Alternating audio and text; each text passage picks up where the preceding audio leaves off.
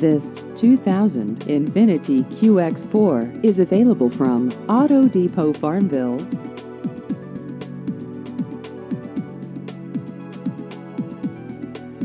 This vehicle has just over 142,000 miles.